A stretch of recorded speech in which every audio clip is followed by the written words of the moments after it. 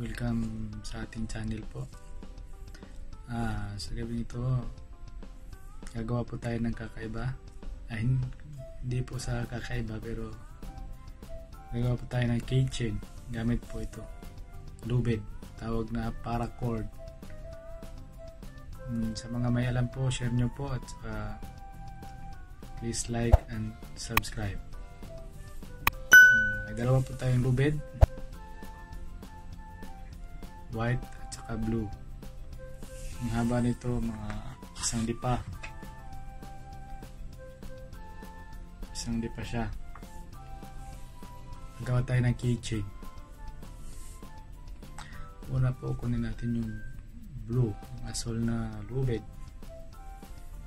Tapos ganyan po, ganyan. Hawakan natin ng ganyan tapos ipulupot.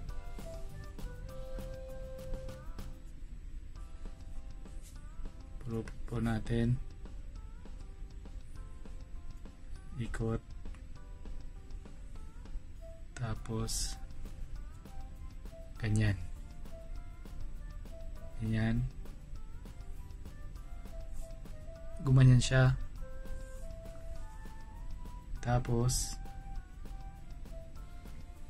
ikot pa isa. Yan. Tapos nangyayari ganyan. Dapat po nakaganyan. Sunod. Kunin nyo itong dulo. Tapos pasok po natin dito. Parang itatahi po. Sa baba yan.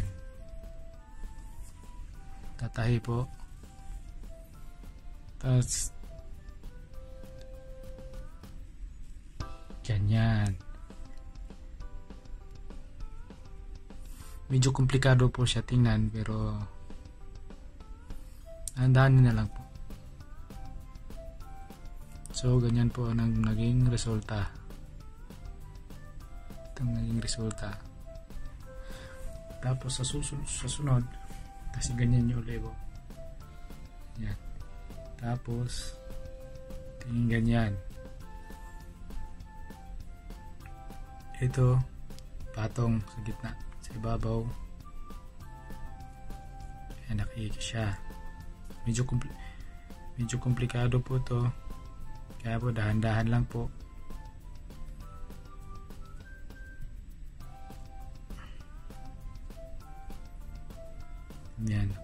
Siya.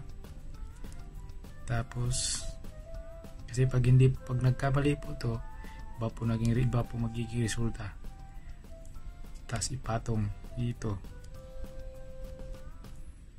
Ganyan. Tapos ito, kunin nyo si patong dito. Ganyan. Tapos yung sa gitna, ito mo silang dalawa, igaganyan.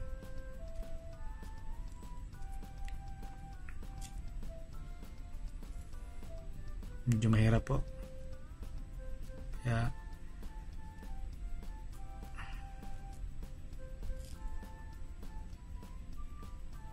kaganyan po siya. Dapat nakaganyan ang maging resulta. Tapos, itong nakalawit na to yung dulo nito kunin mo. Kunin po natin. At saka para po siyang itatahi natin.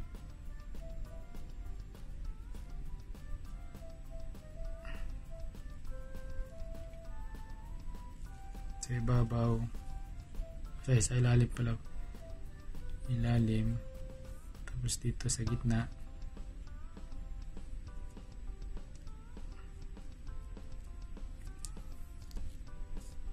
Yan, sa gitna.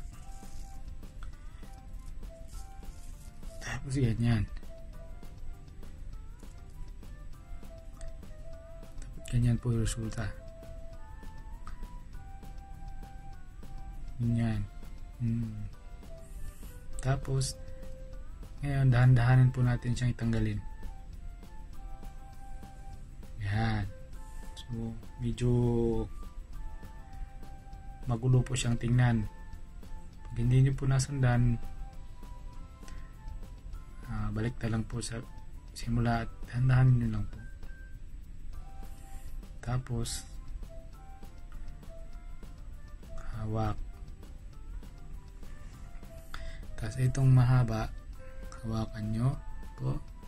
At saka, itong isa, sundan nyo po kung saan itatabi, itatabi lang po to dito sa itong maliit na lubid. Maliit na tapos sundan sundan lang po natin yung tahi niya. Ito po yun o ito tapos ito rin dito rin din tayo pasok sundan lang po kasi hanggang sa maubos po yung ano lubid dahan-dahan lang po sa pag dahan-dahan sa pagpasok. Para alam po natin yung saan natin pinasok. Huwag po basta-bastang pasok ng pasok. Baka iba pong mapasukan.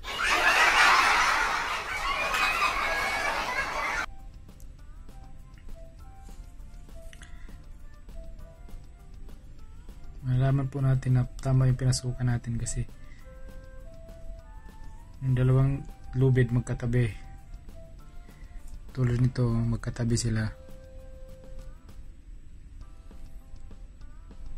Parang bull-bull po siya tingnan. Pero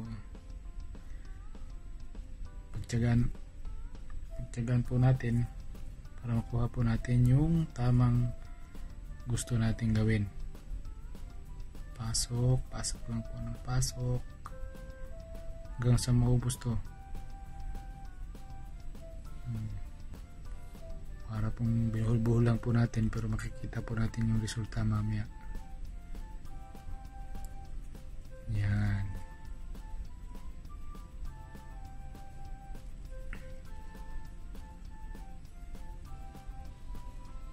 Yan. Medyo nakakaduling po. Yan. Kaya sa huli po nito dapat isang dulo sa lubong nagkasalubong sila nito. Kung saan kung huling dulo nito dapat salubong sila para magkapantay. May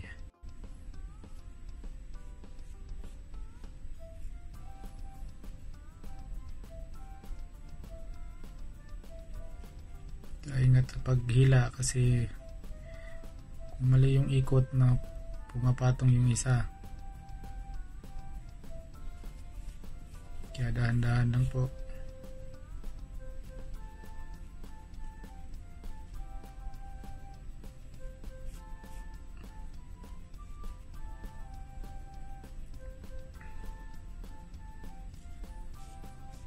bit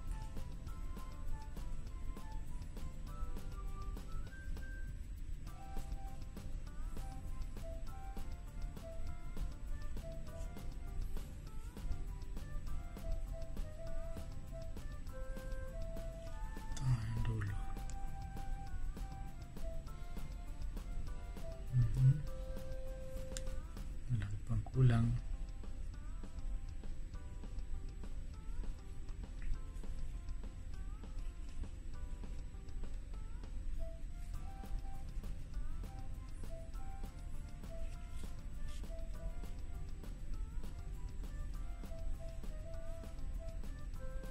bit para makita po natin kung anong maging kakalabasan kulay po to blue at white. Depende na po sa inyo kung anong gusto nyong kulay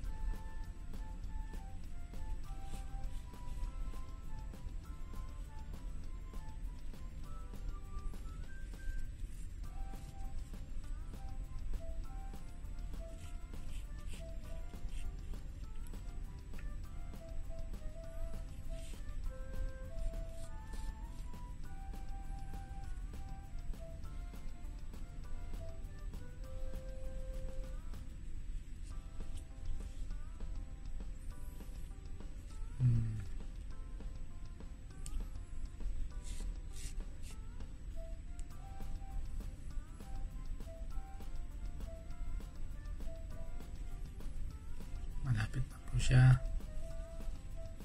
Pero alam ko yung mga beginners nahihilo na.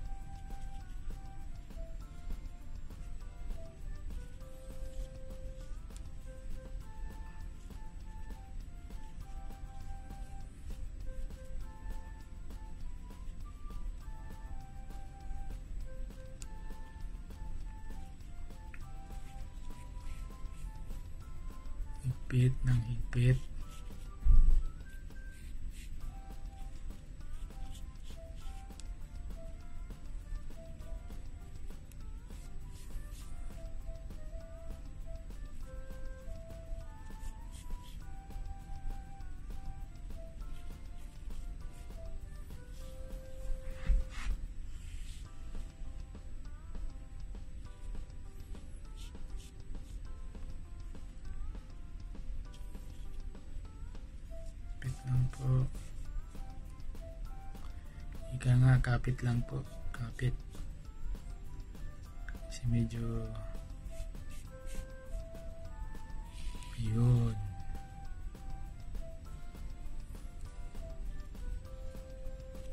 Dapat ito po. Sa kakapasok-pasok na pa natin kanina sa dulo sa dulo dapat ito po nagkasalubong po sila itong dalawang dulo kaya ganito po yung naging itsura parang ganito po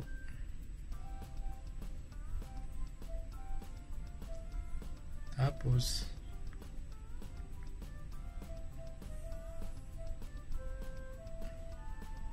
ganito po yung itsura hmm, ganito na po yung maging itsura niya Tsaka kanina, dalawang kulay po ito. Blue at saka puti. Ang gagawin po natin dito sa puti.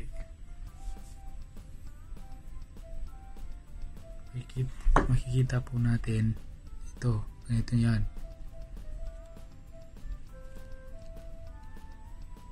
So ito yung puti. Ito po yung puti. Ilalagay po natin dito sa gitna po halimbawa po ito dalaw isang gitna po nito siksik po natin sa gitna. Tingnan po natin.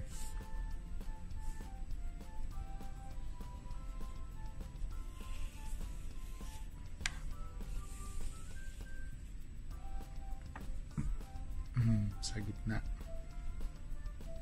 Hanggang po sundan nyo lang po sa gitna ng gitna hanggang sa maubos po.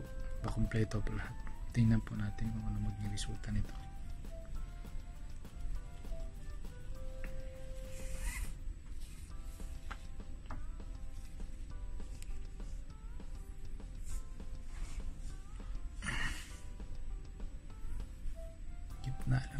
lang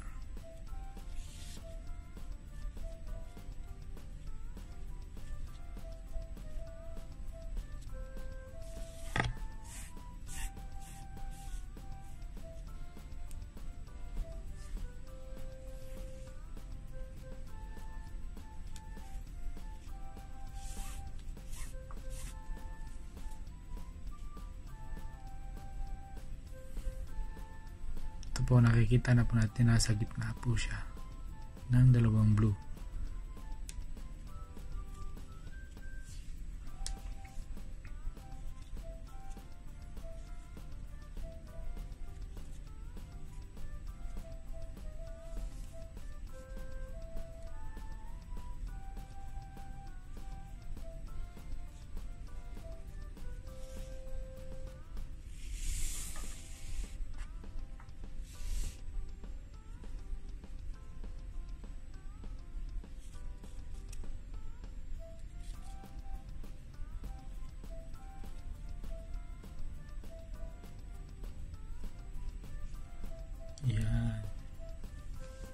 Pasok lang po ng pasok natin.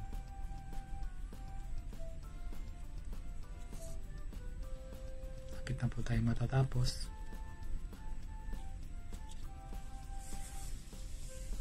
Pasok.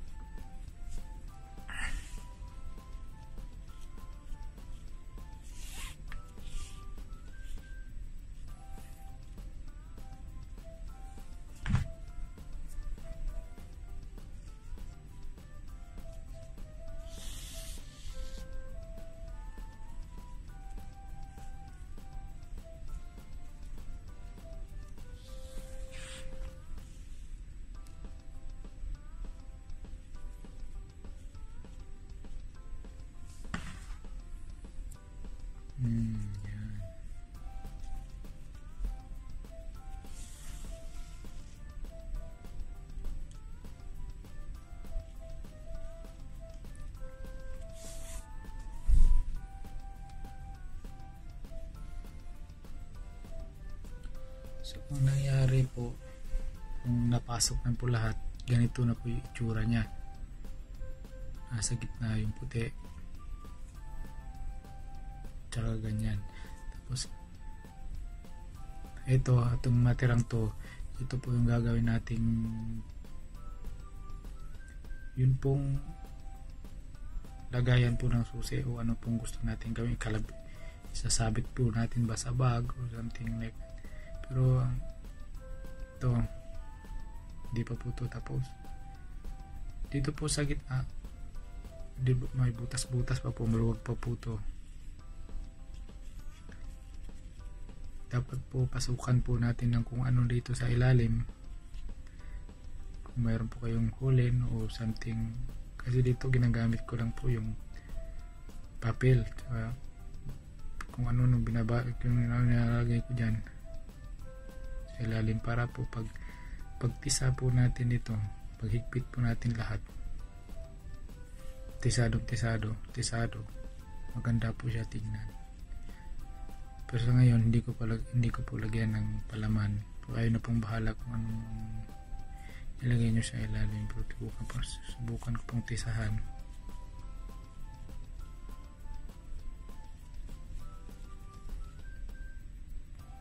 tisa po natin ay pwede pong tatlong sagad na pong tatlo.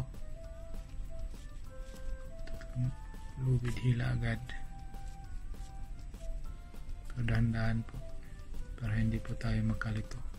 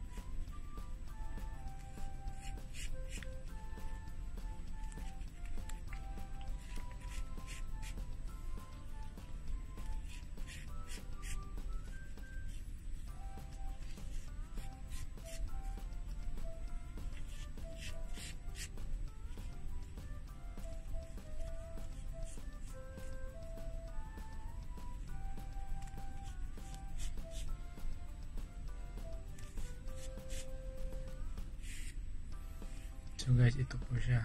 Pero da, mas maganda po kung may palaman talaga dito sa loob para yung tisa nyo pantay-pantay. So ito po yung maging resulta niya. Tsaka gaganda pa po lalo to pag may palaman po sa loob. Tapos tisa ng tisa.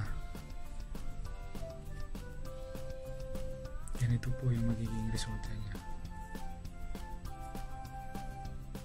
Saka dito, kayo na pong bahalang mag-decide kung anong gusto nyo. Ang ginagawa ko dito, pinupulupot ko. Pero kayo, kung anong type nyo po. Ito yung resulta dito sa ibabaw, ganito po siya.